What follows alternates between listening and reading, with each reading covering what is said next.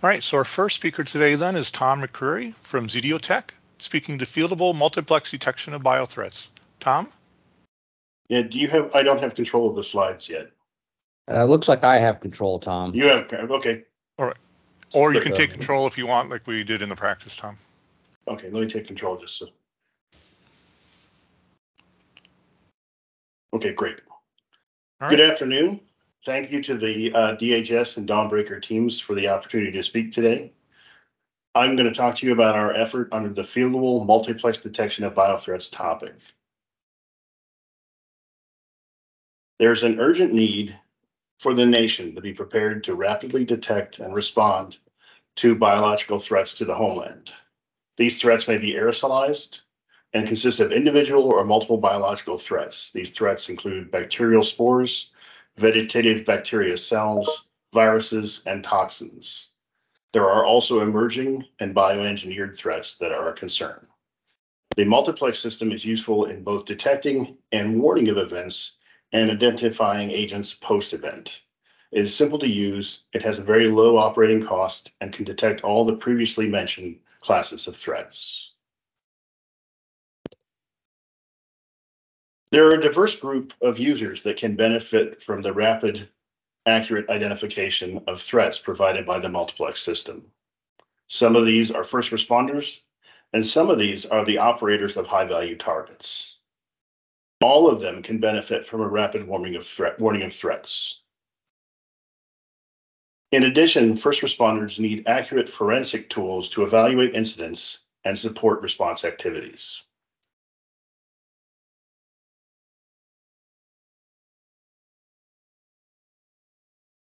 How is this done today? The current BioWatch system has triggered collections in 30 jurisdictions in public places and transit systems.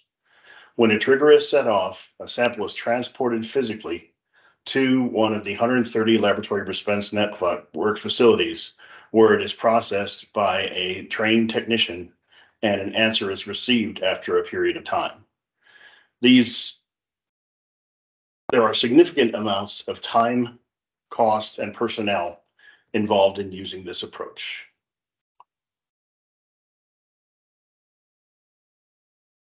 So what, what do first responders really need? You need accurate answers of a broad spectrum of biological organisms and bioactive chemicals at low cost and high speed. You need an automated system that doesn't require a scientist to operate it and maintain it. And you need a system that can adapt to emerging and bioengineered threats that is not limited by the supply chain. One of the things we're always concerned about is that, you know, as we saw with COVID, a new threat enters the country. We don't actually know how to respond to it uh, or how to detect it initially. So threats can be actual attacks or they can just be new threats, new biological infections that have not been seen in the United States before. So our solution is the higher resolution BioTOF. The BioTOF is an automated matrix assisted laser desorption and ionization time of flight mass spectrometer or MALDI-TOF MS. I know that's a, a lot to chew on. Um, what the MALDI-TOF does is it enables the comps, com compact size of the BioTOF because what the matrix actually does is we mix matrix with the threat molecules. We hit that complex with a laser. And because of the chemical interactions and the physical interactions between the matrix and the biological threat, we break the threat into predictable large pieces. So you could do this by simply lasing a biological molecule or a bacteria, but you would get many, many small fragments and you would need the mass spectrometer the size of a room. What we're doing is by breaking into small pieces that are predictable, well, large pieces are predictable, we can actually simplify the process of the mass spec detection. And it also makes the analytical engine more clarified, clearer, and easier to use. Our analytical engine can use these signatures to identify known threats and provide a warning of novel threats. The way the, the system operates is the BioTOF draws in air and deposits the sample onto a, a, a metal disc. The robotic handling system within the BioTOF moves that disc into the mass spectrometer section where it is coated with matrix and hit by the laser. Once the fragments are produced, these fragments fly down the mass spectrometer tube, and this is where the term time of flight comes into action. When the molecule flies down the tube, large molecules fly less distance and small molecules fly farther. And by learning this relative proportion of the masses of the threat, we can identify what organism we have drawn in. The current DHS Phase 2 funding is enabling us to increase the resolution of the system by replacing the standard ion source with a high performance ion source by modifying the power supplies and demonstrating that we can provide this multiple threats simultaneously. One of the key parts that was a goal for the DHS and this multiplex effort, you're not looking for one threat at a time. You're looking for multiple threats.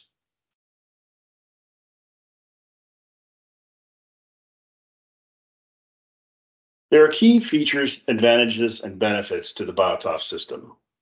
The system is automated, simple to operate, and provides detections of all agents and classes of biological threats in less than five minutes. The BioTOF has the ability to detect novel and background bioengineered threats.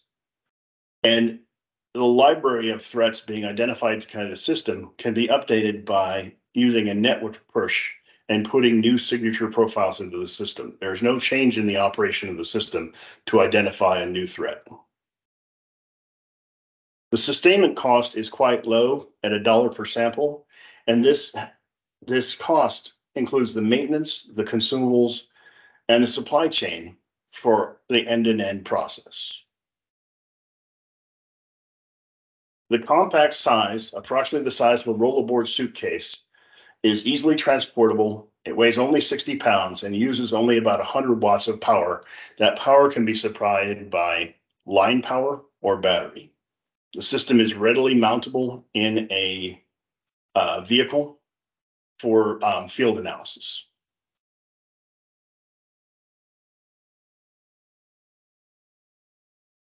Biodetection today is conducted using the DNA amplification technique polymerase chain reaction. That chain re polymerase chain reaction requires an expensive enzyme that needs to be refrigerated throughout the process. This caused the cost of the chain to be quite a bit higher. Each test costs $183 in reagents, and that's only the reagents, plus the manpower to transport the sample to the laboratory and then conduct the analysis. The analysis is multiplexed, but only for 16 agents. In addition, those 16 agents have to be chosen beforehand. You can't identify a novel threat you pick 16 agents, that's all you're looking for. If agent 17 is a threat that day, you won't even know it's there. So the BioTOF multiplier system, by comparison, has very low consumable costs of approximately two cents per sample and is automated and does not require the sample to be transported or an operator to conduct the analysis. The BioTOF conversion detect virtually all known classes of biothreats and bioactive chemicals including unknown and engineered threats.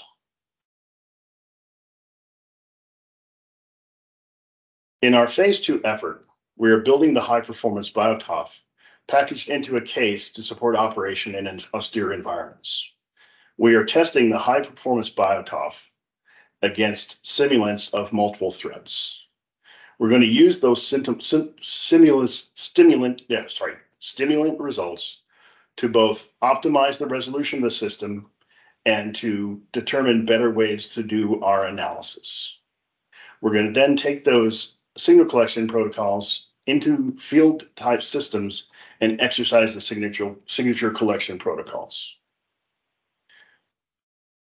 And um, we'll be conducting this both in the laboratory and outside in the field. As you can see in the figure, what we've done in this system is we've gone from a phase one test bed where it's on a large rack to a package system approximately the size of a rollerboard suitcase.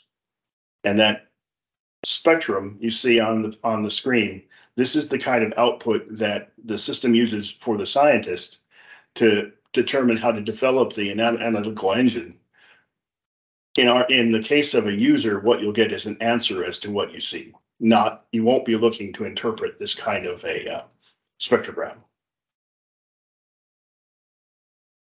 The MALDI-TOF system has been de- developed with D- SBIR funding from the Department of Homeland Security and from the Department of Defense.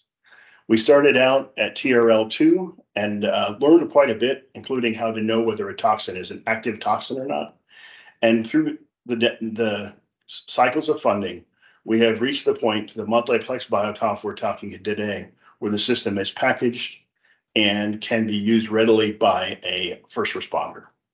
We are also carrying out an experiment funded by Department of Homeland Security where the BioTOF system is placed into a, a environmental case. And this case can be uh, put out into operational systems. We just recently um, completed a field test at Naval Surface Support Center Dahlgren, where the BioTOF was placed on a barge in, in the Catoctin Creek. And we can actually uh, say that it, it worked exceedingly well and detected the threats that were released by the Dugway team. And those were very challenging conditions, as you can imagine, for humidity. So about Zeteo Tech. Zeteo Tech was founded in 2013 by Sykesville, Maryland, in Sykesville, Maryland. We, our goal was to develop technologies for the warfighter and homeland security. Our leadership was previously program managers at DARPA and DHS Science and Technology.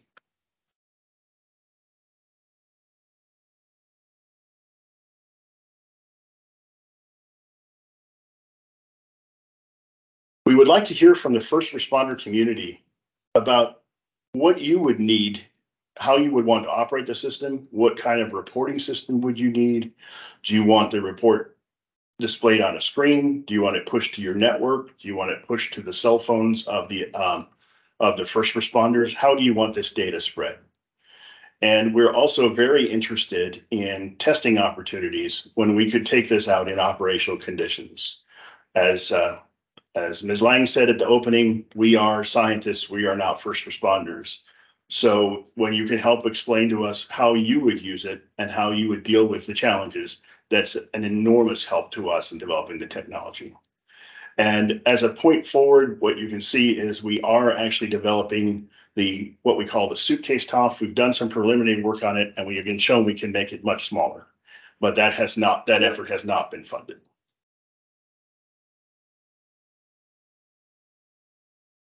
So as uh, th- this, these is the leadership team of Zeteo, of Zeteo. Dr. Wayne Bryden is our CEO and president, and I'm Tom McCreary. I'm the chief operating officer. Wayne and I were program managers together at DARPA, primarily working on chem biodefense. And Mike McLaughlin is our chief technology officer and is here with us today and will help answer any of your questions. And Mike was a program manager in DHS Science and Technology. The three of us are all um, we have Wayne is a chemist, I'm a biologist, and Mike is an electrical engineer. So we believe we have a team that is very effective for this. Our team is based in Sykesville, Maryland. All of our employees are technical. We have no administrative personnel in the company. And we have a range from people from with an associate's degree in electronics to several PhDs in our in our workforce. Thank you very much, and I'd like to hear any questions.